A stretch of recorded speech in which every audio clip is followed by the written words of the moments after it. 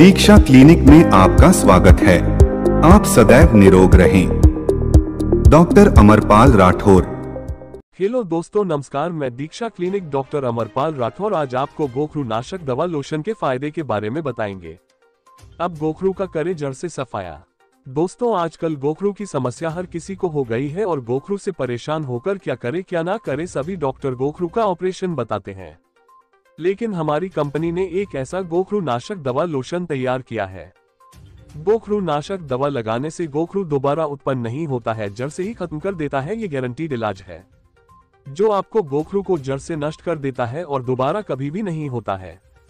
गोखरू नाशक दवा लोशन का कोई भी साइड इफ़ेक्ट नहीं है, इसे लगाने से गोखरू को चार पाँच दिन में जड़ से नष्ट कर देता है। ये पाँच मिलीलीटर की पैकिंग में है, इसका रेट दो सौ रूपए है, इसे दीक्षा क्लिनिक डॉक्टर अमरपाल राठौर ने तैयार किया है।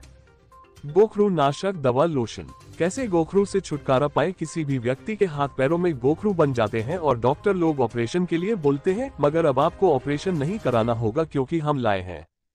गोखरू नाशक दवा लोशन जो बिल्कुल गोखरू को जड़ से समाप्त करता है, गोखरू की जड़ से मिटाने की गारंटी है।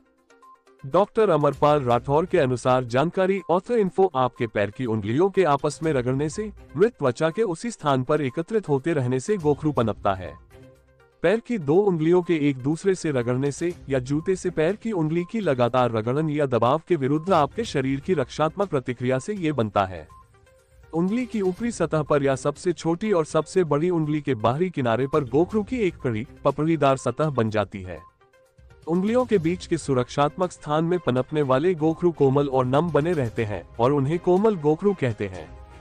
चरण एक गोखरू के आंकलन के लिए किसी पोडियाट्रिस्ट से मिले। खुलेआम मिलने वाली दवाएँ कारगर तो होती हैं। पर कई मेडिकल विकल्पों से लेस एक लाइसेंसधारी डॉक्टर का कोई जवाब नहीं होता। बोखरू एक दशा का लक्षण है, खुद दशा नहीं है।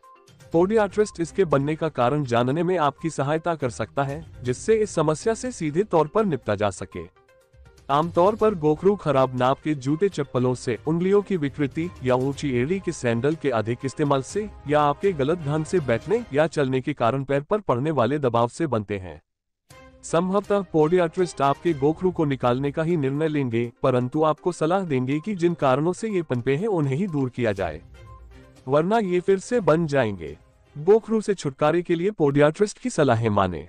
इनमें जूते चप्पलों को बदलना, गोखरू वाली जगह पर रगड़ या दबाव से रक्षा के लिए अतिरिक्त गद्दीदार बचाव की पत देना।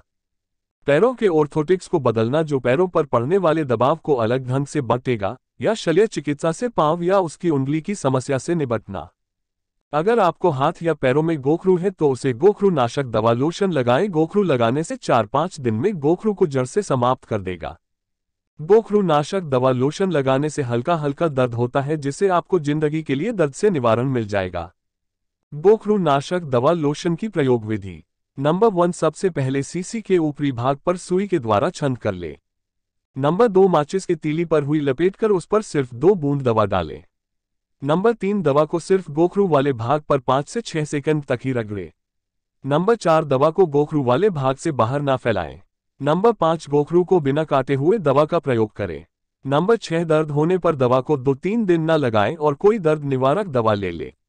नंबर सात, आँखों से तथा बच्चों की पहुँच से दूर रखें।